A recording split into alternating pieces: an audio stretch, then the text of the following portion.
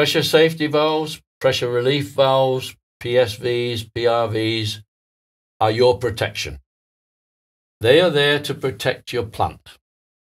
Normally, they're set at around 5 to 10% above the operating pressure of the plant.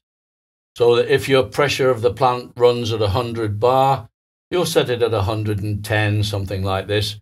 And it gives you a safety gap that you can allow for little upsets in the plant without relieving everything.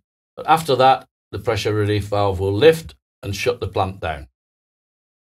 These valves are a safety device.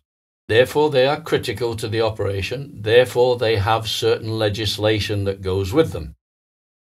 Normally, most countries follow the same thing, but you would need to check on your particular country, your particular client, what they require.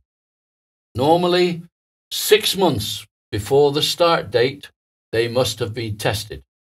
So if you test a valve in January, you must start that plant before June.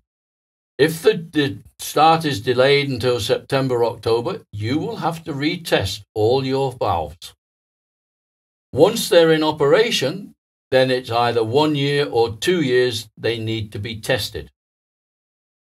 One very good tip to remember when you're doing your P&ID checks is look and see how many valves there are. If you only have one safety valve, how do you change it?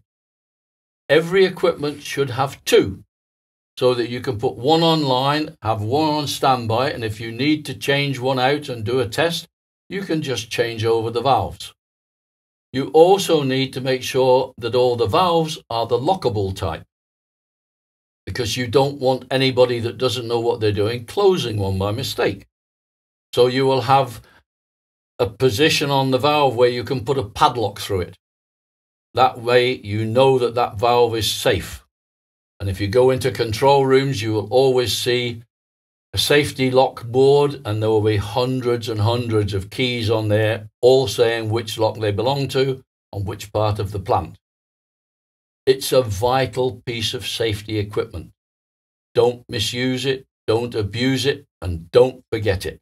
It's there to protect you as much as the plant.